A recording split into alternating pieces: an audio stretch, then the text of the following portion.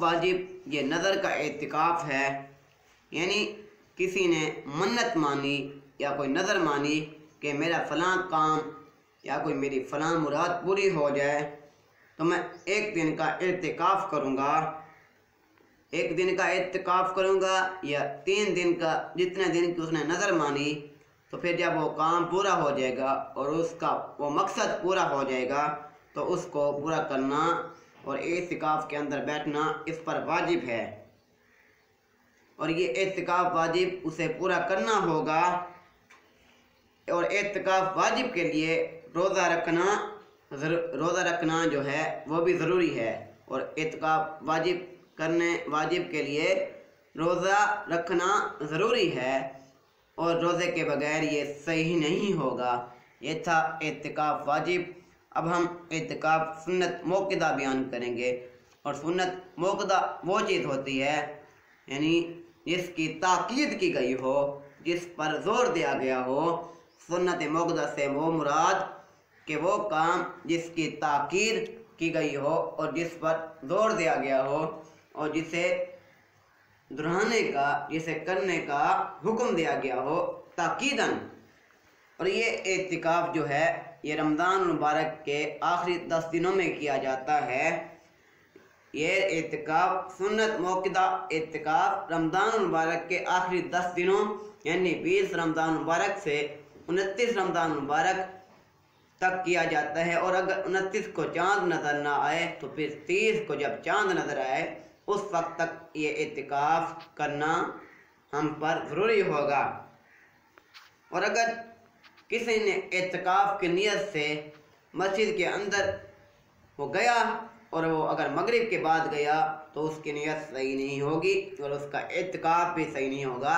एतकाफ़ के एतकाफ़ के लिए बीस रमज़ान मुबारक को मगरिब की नमाज़ से पहले अल्लाह तबारक व ताली के घर के अंदर जाना हम पर यह ज़रूरी है और मगरिब की नमाज़ से पहले, सूरज ग्रूप होने से पहले मस्जिद के अंदर पहुँच जाना ज़रूरी है। और मगरिब की नमाज़ से पहले नियत के साथ कि नियत करनी, नियत भी करनी पड़ेगी कि मैं मसनून एहतिकाफ़ रमज़ान मुबारक के दस दिन का एहतिकाफ़ करने लगा हूँ।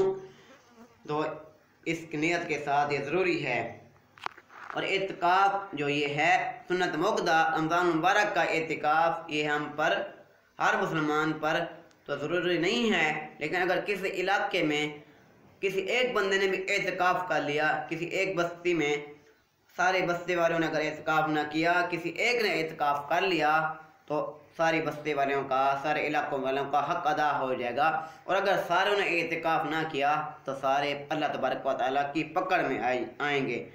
और जो दूसरा तीसरा एहतिकाफ़ मुस्तहब है, वो ये है, और इस्तिका मुस्तहब के लिए रोज़ा शर्त नहीं और ये थोड़ी देर का भी हो सकता है। मुस्तहब का क्या मतलब है?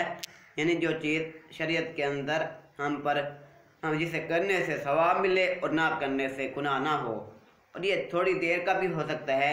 यानी जब हम किसी नमाज़ के लिए मस्जिद के अंदर तशरीफ़ ले जाएँ, अल्लाह तबारक व ताली के घर के अंदर तशरीफ़ ले जाएँ तो दाखिल होते वक्त हमने ये कहना होगा कि नवाई तो सुन्ना एतिकाफ़ तो इस तरह हमारा एतिकाफ़ थोड़ी देर का ये पूरा हो जाएगा। ये मसला आलमगीरी के अंदर बयान किया गया है।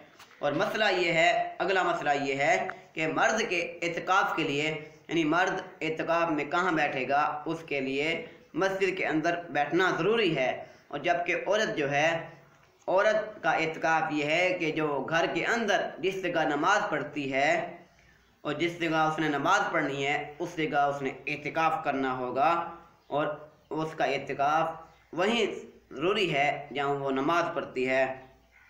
और अगला मसला ये है कि एहतिकाफ़ करने वाले को बिला उज़र, बग़ैर किसी उज़र के, शरई, बग़ैर किसी शरी उज़र के, यानी जो शरीयत में अंदर शरी के अंदर शरीयत के अंदर जो उज़र आ गया, यानी कोई ज़्यादा ज़रूरी काम यानी उसे कोई तकलीफ़ हो गई, ज़्यादा सख्त वो बीमार हो गया तो फिर इस बगैर किसी शरी उज़र के मस्जिद से निकलना हराम है।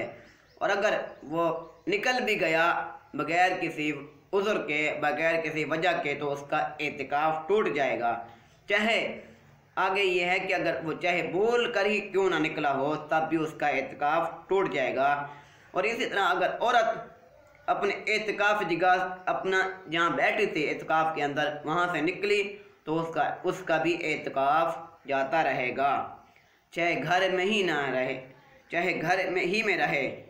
यानी अगर वो जिस जगह एतकाफ़ में बैठी थी, बिला किसी वजह के, बिला बिला किसी उज़र के, वो वहाँ से हिली बगैर किसी काम के तो उसका भी एतकाफ़ ख़त्म हो जाएगा। दुआ है अल्लाह रब्बुल इज़्ज़त से कि अल्लाह तबारक व ताली हमें शरीयत के मसाइल और अहकाम समझने और इन पर अमल करने की तोफ़ी अता फरमाए।